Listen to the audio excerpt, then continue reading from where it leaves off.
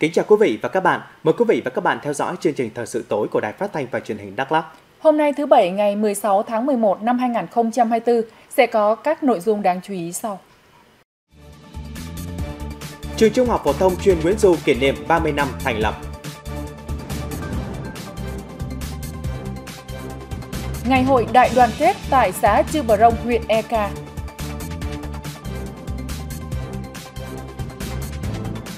Sức hút từ không gian nghệ thuật đương đại. Trong mục Đắk Lắk 120 năm dấu ấn thời gian, chương trình có phóng sự thành phố Buôn Ma Thuột chỉnh trang đô thị chào đón ngày lễ lớn. Thời sự trong nước, giai đoạn nước rút cho tăng trưởng xuất khẩu cả năm. Hàn Quốc và Mỹ tăng cường hợp tác về an ninh hạt nhân. Meta bị phạt hơn 800 triệu đô la Mỹ vì độc quyền là những thông tin đáng chú ý trong phần tin thế giới. Bây giờ là nội dung chi tiết của chương trình. Sáng nay 16 tháng 11, trường Trung học phổ thông chuyên Nguyễn Du đã tổ chức lễ kỷ niệm 30 năm thành lập 1994-2024. Các đồng chí Nguyễn Đình Trung, Ủy viên Trung ương Đảng, Bí thư tỉnh ủy, Hờ Sim Cà Đó, Phó Chủ tịch Ủy ban Nhân dân tỉnh, Lê Thị Thanh Xuân, Phó trưởng đoàn phụ trách đoàn đại biểu Quốc hội tỉnh, Giám đốc Sở Giáo dục và Đào tạo tỉnh Đắk Lắk đã đến dự. Ngày 23 tháng 6 năm 1994, Chủ tịch Ủy ban Nhân dân tỉnh Đắk Lắk đã ban hành quyết định thành lập trường phổ thông cấp 2, 3 chuyên Nguyễn Du, tiền thân của trường trung học phổ thông chuyên Nguyễn Du ngày nay. Qua 30 năm xây dựng và phát triển, nhà trường đã tạo dựng được môi trường giáo dục chuyên biệt để đào tạo nguồn nhân lực chất lượng cao, đưa tỉnh Đắk Lắk trở thành một trong những điểm sáng về giáo dục mũi nhọn ở khu vực Duyên Hải, Nam Trung Bộ và Tây Nguyên. Nhà trường hiện có 100% giáo viên có trình độ đạt chuẩn và 80% trên chuẩn, 70% thầy cô đạt danh hiệu giáo viên dạy giỏi cấp tỉnh, có 7 giáo viên đạt danh hiệu nhà giáo ưu tú, 3 giáo viên được Chủ tịch nước tặng thưởng huân chương lao động hạng 3, 15 giáo viên được Thủ tướng Chính phủ tặng bằng khen, hàng trăm lượt thầy cô giáo được Bộ Giáo dục và Đào tạo, Ủy ban Nhân dân tỉnh tặng bằng khen. Đến nay, nhà trường đã có 796 học sinh đạt giải tại kỳ thi chọn học sinh giỏi trung học phổ thông quốc gia, có 21 học sinh được Bộ Giáo dục và Đào tạo triệu tập tham gia kỳ thi lập đội tuyển quốc gia, dự thi Olympic quốc tế và châu lục. Ba học sinh được chọn vào đội tuyển quốc gia dự thi Olympic quốc tế.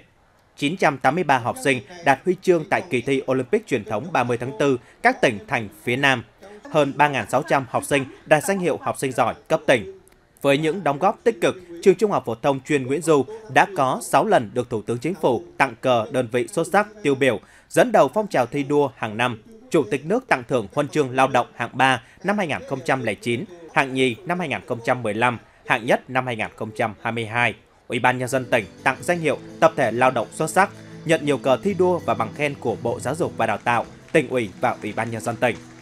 Phát biểu tại buổi lễ, đồng chí Hờ Sim có đó, Phó Chủ tịch Ủy ban nhân dân tỉnh Đắk Lắk ghi nhận, biểu dương và chúc mừng những thành tiệu trường Trung học phổ thông chuyên Nguyễn Du đã đạt được trong 30 năm qua. Đồng chí đề nghị trong chặng đường sắp tới, nhà trường tập trung mọi nỗ lực cao nhất để nâng cao chất lượng giáo dục toàn diện, nhất là đổi mới mạnh mẽ tư duy phát triển giáo dục và đào tạo theo hướng phát triển năng lực học sinh, định hướng nghề nghiệp cho học sinh. Phó Chủ tịch Ủy ban nhân dân tỉnh mong muốn thầy trò trường Trung học phổ thông chuyên Nguyễn Du tiếp tục phát huy truyền thống vẻ vang, nhận thức sâu sắc hơn nữa trọng trách của mình để không ngừng nỗ lực phấn đấu, xứng đáng là cơ sở đào tạo nguồn nhân lực chất lượng cao cho tỉnh tạo chuyển biến mạnh mẽ hơn nữa về chất lượng giáo dục mũi nhọn để hàng năm có thêm nhiều học sinh đạt giải cao trong các kỳ thi học sinh giỏi quốc gia, các sân chơi trí tuệ của khu vực và quốc tế. Dịp này, Ủy ban nhân dân tỉnh Đắk Lắk đã tặng bằng khen cho tập thể trường Trung học phổ thông chuyên Nguyễn Du và 9 cá nhân đã có nhiều đóng góp trong 30 năm xây dựng và phát triển trường Trung học phổ thông chuyên Nguyễn Du 1994-2024. Chiều nay 16 tháng 11, đồng chí Phạm Ngọc Nghị, Phó Bí thư tỉnh ủy, Chủ tịch Ủy ban Nhân dân tỉnh Đắk Lắk đã chủ trì phiên họp thành viên Ủy ban Nhân dân tỉnh thông qua các nội dung trình kỳ họp thứ 9 Hội đồng Nhân dân tỉnh khóa 10. Tại phiên họp, các đại biểu đã xem xét, góp ý và thông qua dự thảo nghị quyết điều chỉnh bổ sung kế hoạch đầu tư công trung hạn giai đoạn 2021-2025, nguồn ngân sách địa phương, nguồn vốn kế hoạch đầu tư công trung hạn giai đoạn 2021-2025, vốn ngân sách địa phương còn lại chưa phân bổ là 593 tỷ 924 triệu đồng. dự kiến bổ sung danh mục và bố trí vốn đối với dự án khu căn cứ chiến đấu trong diễn tập khu vực phòng thủ tỉnh Đắk Lắk và dự án giảm thiểu khí thải.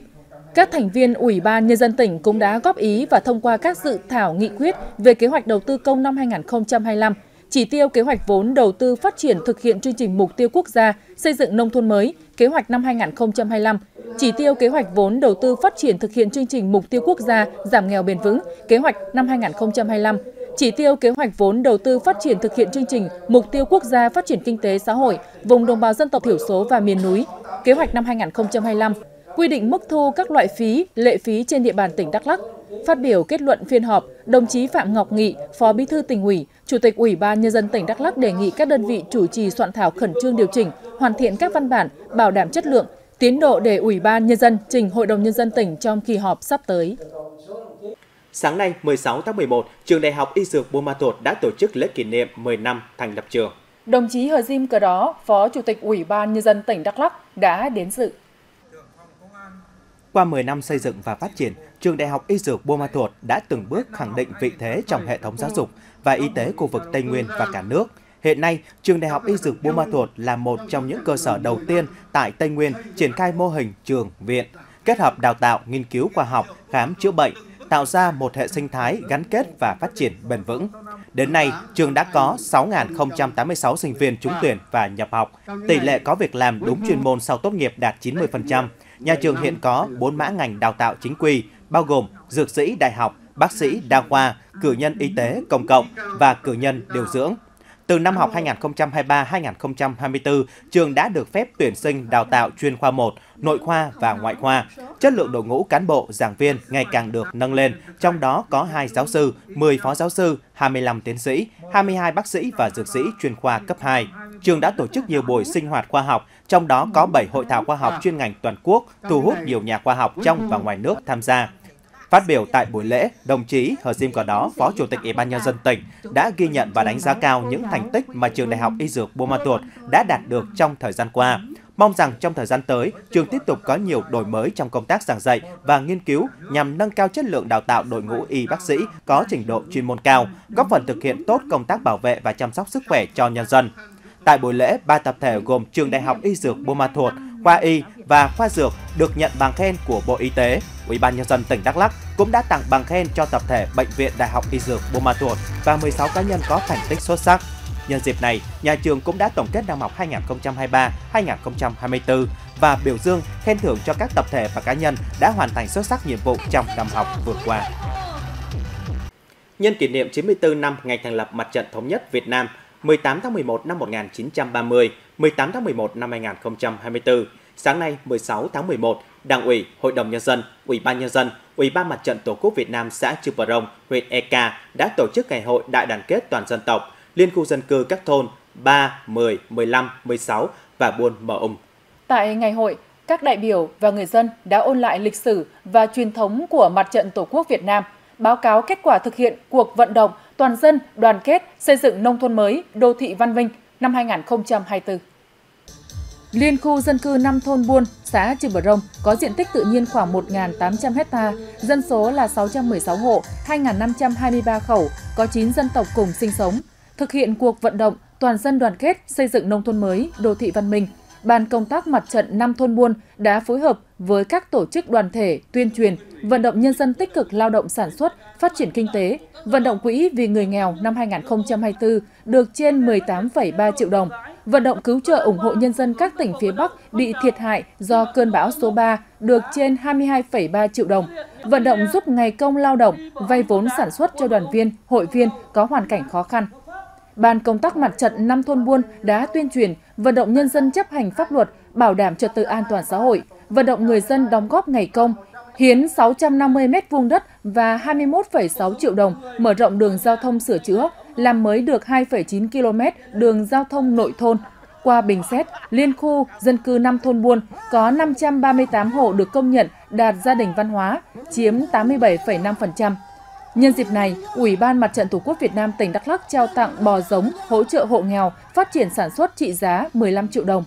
Ủy ban Nhân dân xã Trư Bờ Rông đã tặng giấy khen cho 21 hộ có thành tích xuất sắc trong cuộc vận động toàn dân đoàn kết xây dựng nông thôn mới, đô thị văn minh năm 2024. Ủy ban Mặt trận Tổ quốc Việt Nam huyện EK và xã Chư Bờ Rông trao tặng 50 xuất quà từ Quỹ vì người nghèo cấp huyện, xã cho hộ nghèo, gia đình có hoàn cảnh đặc biệt khó khăn trên địa bàn xã. Sở Nông nghiệp và Phát triển Nông thôn tỉnh Đắk Lắk cho biết, đến nay toàn tỉnh đã hoàn thành và vượt xa kế hoạch trồng rừng năm 2024. Tính đến hết tháng 10 năm 2024, toàn tỉnh đã trồng được 4.076 hecta rừng, đạt 224% kế hoạch năm 2024, trồng được gần 150.000 hecta cây xanh phân tán, đạt 75% kế hoạch giao. Để đảm bảo hoàn thành kế hoạch trồng cây phân tán năm 2024, Sở Nông nghiệp và Phát triển Nông thôn tỉnh Đắk Lắk đề nghị trong những tháng cuối năm 2024, các địa phương, chủ rừng trên địa bàn tỉnh chỉ đạo đơn vị trực thuộc triển khai đúng tiến độ kế hoạch đề ra. Bên cạnh đó, các địa phương, đơn vị tiếp tục rà soát, bổ sung diện tích đất trống chưa có rừng, xây dựng kế hoạch trồng rừng và trồng cây xanh nhằm tăng diện tích rừng trồng mới để tính độ che phủ rừng – để thực hiện hiệu quả đề án bảo vệ, khôi phục và phát triển bền vững vùng Tây Nguyên giai đoạn 2016-2030, Ủy ban Nhân dân tỉnh Đắk Lắc đã ban hành quyết định về kế hoạch trồng rừng và trồng cây xanh giai đoạn 2021-2025. Tỉnh phấn đấu trồng 10.085 hecta rừng, trong đó trồng cây xanh phân tán là 1.000 hecta, trồng rừng phòng hộ đặc dụng là 365 hecta, trồng rừng sản xuất 8.720 hecta. Ủy ban Nhân dân tỉnh Đắk Lắc yêu cầu các công ty lâm nghiệp, ban quản lý rừng phòng hộ, đặc dụng, vườn quốc gia, chủ dự án huy động nguồn lực để đầu tư trồng rừng đạt kế hoạch đề ra, chủ động xây dựng dự án đầu tư phát triển rừng, trình cấp có thẩm quyền, xem xét, phê duyệt nguồn vốn đầu tư phát triển rừng theo quy định, phấn đấu giai đoạn 2020-2025, độ che phủ rừng trên địa bàn tỉnh đạt từ 40 đến 42%. Thưa quý vị và các bạn, những năm gần đây, các tác phẩm từ nghệ thuật đương đại dần trở nên thân quen với công chúng. Tại tỉnh Đắk Lắk, nhiều triển lãm các tác phẩm nghệ thuật đương đại được tổ chức đa dạng về chủ đề, hình thức, sáng tạo như tranh vẽ, sơn mài, điêu khắc, video, sắp đặt. Tranh thủ ngày cuối tuần, em Hờ Thư Azun cùng bạn đến tham quan và tìm hiểu về nghệ thuật đương đại ở triển lãm Sông Màu của nhà điêu khắc họa sĩ Đàm Đăng Lại những tác phẩm mỹ thuật từ điêu khắc, tranh vẽ với nhiều đường nét, hình khối, màu sắc phong phú khiến cho hai em cảm thấy thích thú mới lạ, tràn đầy năng lượng. Bước vào triển lãm ờ, được ngắm nhìn những cái tác phẩm rất là nghệ thuật và ờ, rất là triển vọng ạ. À, em cảm thấy rất là ấn tượng với những tác phẩm rất là uh, sắc màu. Trong không gian đa sắc màu với các tác phẩm kích thước lớn nhỏ khác nhau, được đặt đan xen trong khu trưng bày đều có những chuyển động đặc biệt như những bông hoa, ngọn cỏ, giọt nước, rừng cây hay những chú voi thay đổi tư thế có thể trở thành hình dạng một con thú khác, vân vân. Dù xoay chuyển ở tư thế nào, các tác phẩm cũng sẽ tạo ra những hình dáng khác nhau, có thể như đang đứng, chạy nhảy hay hòa mình vào không gian. Các tác phẩm đã tạo sự thích thú và cuốn hút người xem bởi sự đa sắc màu và hình dạng của chúng. Tác giả đã truyền tải được tất cả những cái toàn bộ các cái chuỗi từ cái tranh hội họa rồi những cái tác phẩm điêu khắc À, rồi những cái những cái series tranh trừu tượng thì tác giả đều gợi gắm ở đó. Có những cái hình ảnh nào là những cái cây rồi nào những rừng rồi nào những ánh nắng nào những cơn cơn mưa. Cái này đều là tất cả đều là từ từ cái mảnh đất. Có lẽ là từ cái mảnh đất từ cái thời thua ấu của nghệ sĩ đã từng uh, cảm nhận. Một điều đặc biệt trong các tác phẩm nghệ thuật đương đại này chính là sự kết hợp giữa nét văn hóa truyền thống và văn hóa đương đại. Những sáng tác của tác giả đều lấy cảm hứng từ chính cội nguồn thân quen từ thuở bé khi sống trên mảnh đất Đắk Lắk, lấy cảm hứng màu sắc từ những lễ hội của đồng bào dân tộc thiểu số ở Tây Nguyên cái nghệ thuật á, thì nó bắt nguồn từ bằng cái đam mê của mình bằng cái cái um, cái cái quá khứ bằng những cái mình trải nghiệm đã qua ờ, bằng cái văn hóa cội nguồn kết hợp với với với cái màu sắc đương đại thế là mình mới quay lại quay lại đây ừ, quay lại về, về quê hương mình những năm gần đây, nghệ thuật đương đại đã dần khẳng định được vị trí của mình. Những tác phẩm này dù rất mới lạ nhưng lại mang sự thân quen, gần gũi với người xem. Và những tác phẩm này khi được trưng bày, triển lãm tại tỉnh Đắk Lắk đã thổi làn gió mới đến đời sống văn hóa tinh thần của người dân, góp phần xây dựng nền nghệ thuật của tỉnh ngày càng phong phú, đa dạng.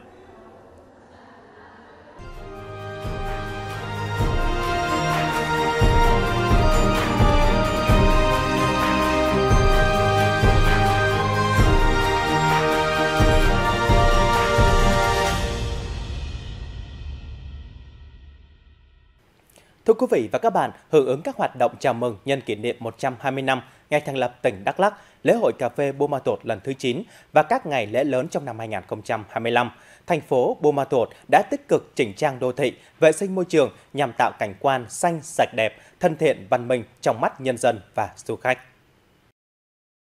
Hiện nay trên địa bàn thành phố Buôn Ma Thuột, các đơn vị thi công đang gấp rút thực hiện công tác chỉnh trang đô thị, nâng cấp hạ tầng đô thị, vỉa hè, cây xanh trên một số tuyến đường trung tâm thành phố. Bên cạnh đó, thành phố cũng đã treo cờ, pano, áp phích, câu khẩu hiệu tuyên truyền về 120 năm ngày thành lập tỉnh Đắk Lắk trên các tuyến đường chính để góp phần tuyên truyền, cổ động và tạo cảnh quan, không gian đô thị hiện đại. Trung tâm thành phố và các công đường của thành phố đều là rực rỡ với cầu ờ, cờ hoa, bảng hiệu, băng rôn rồi tất cả mọi cái áp phích đồ của uh, uh, trong cái sự kiện của ngày kỷ niệm 120 năm các uh, tỉnh ngoài về cũng cảm nhận được rằng là một cái thành phố là sắc khởi mà nó phát triển. Với việc xây dựng thêm các công viên, hoa viên, trồng thêm cây xanh, thành phố Buôn Ma Thuột như khoác thêm chiếc áo mới với nhiều mảng xanh được tạo nên nét độc đáo, hấp dẫn. Những không gian này giúp điều hòa không khí và cũng là nơi lưu giữ những giá trị văn hóa, lịch sử đặc sắc. Góp phần chỉnh trang đô thị, tạo điểm nhấn đô thị xanh với lối kiến trúc, cảnh quan hiện đại nhưng vẫn giữ gìn nét đẹp bản sắc dân tộc đặc trưng đáp ứng nhu cầu sinh hoạt cộng đồng và nâng cao chất lượng đời sống tinh thần của nhân dân. Để đảm bảo mỹ quan đô thị, Ủy ban nhân dân thành phố Buôn Ma Thuột cũng đã chỉ đạo các xã phường triển khai dọn vệ sinh các tuyến đường, ngõ hẻm, tạo không gian sống, sáng, xanh, sạch đẹp. Cùng với đó là rà soát, bổ sung, chăm sóc hệ thống cây xanh, thiết kế, xây dựng các mô hình đường hoa, trục cây xanh đặc trưng trên các tuyến đường trung tâm. Thành phố cũng tiếp tục nâng cấp vỉa hè bằng đá tự nhiên kết hợp với đầu tư hạ ngầm hệ thống hạ tầng kỹ thuật trên các tuyến đường trung tâm. Hướng tới kỷ niệm 120 năm thành lập tỉnh cũng như là 120 năm Buôn Ma Thuột hình thành và phát triển. Trên cơ sở đó thì à, Ủy ban nhân thành phố Buôn Ma Thuột đã chỉ đạo quyết liệt à, chủ đầu tư, nhà thầu và các đơn vị có liên quan để đẩy nhanh tiến độ kịp hoàn thành công trình. Công tác chỉnh trang đô thị đang được cấp rút hoàn thành. Thành phố Buôn Ma Thuột đang khoác lên mình một diện mạo mới để chào đón lễ kỷ niệm 120 năm ngày thành lập tỉnh Đắk Lắk và sẵn sàng chào đón du khách trong và ngoài tỉnh với những ấn tượng tốt đẹp về văn hóa, con người nơi đây.